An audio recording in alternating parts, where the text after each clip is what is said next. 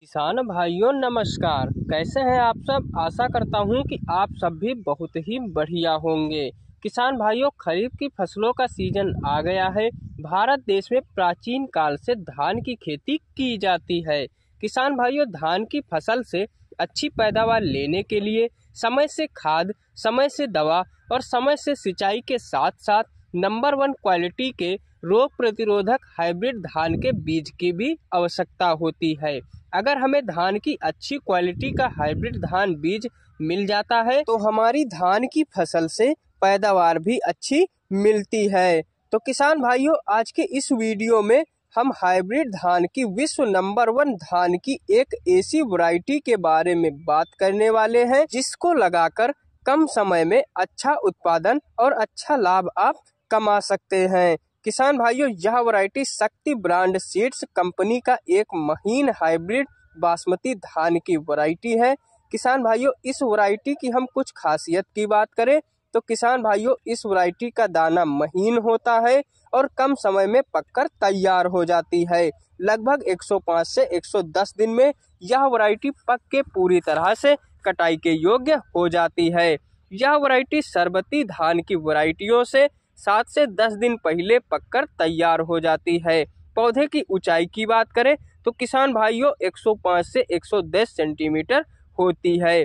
मध्यम हाइट तना भी काफ़ी ज़्यादा मज़बूत होता है, जिसकी वजह से इस वैरायटी का पौधा तेज हवा, जल भराव में भी गिरता नहीं है।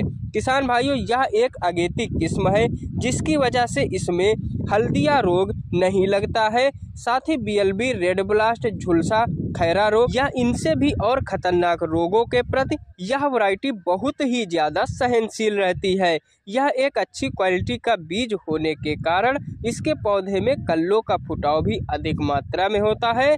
इस वैरायटी की बालियाँ भी किसान भाइयों 11 से 12 इंच लंबी और गुच्छेदार होती हैं। इस वैरायटी का दाना छोटा व मज़बूत होता है।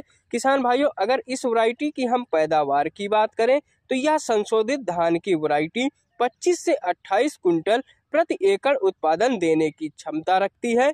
खाने में भी यह वैरायटी बहुत ही ज़्यादा स्वादिष्ट होती है। चावल भी हल्का खुशबूदार होता है। किसान भाइयों, इस वैरायटी का दाना महीन, संशोधित होने के कारण मार्केट में भी यह वैरायटी अच्छे दामों में बिकती है। किसान भाइयों, अगर आप इस वैरायटी का चयन करते हैं तो इसके लिए आपको 9 से 10 किलोग्राम बीज प्रति एकड़ के लिए आवश्यकता पड़ेगी। इस वैरायटी का बुआई का सही समय जो होता है, किसान भाइयों, वह समय 10 जून से लेकर 20 जुलाई तक का होता है।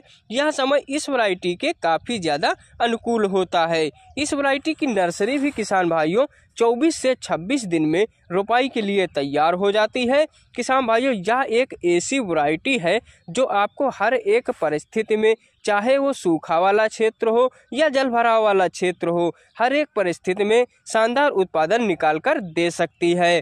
तो यह है किसान भाइयों, हमारी इस वैरायटी के बारे में संपूर्ण ए टू जेड डिटेल में जानकारी। हम आशा करते हैं, किसान भाइयों, आपको हमारी यह जानकारी पसंद आई होगी। तो मिलते हैं अपने अगले वीडियो में। तब तक के लिए धन्यवाद दोस्तों। किसान भाइयों, आप लोग भी सोच रहे होंगे, जानकारी तो पूरी हो गई। वैरायटी कौन सी है, ये तो पता ही नहीं चला। तो किसान भाइयों, आप बिल्कुल सही सोच रहे हैं। तो हमारी यह ऑलराउंडर वैरायटी है, किसान भाइयों, शक्ति ताज। शक्ति अपनाओ उपज बढ़ाओ।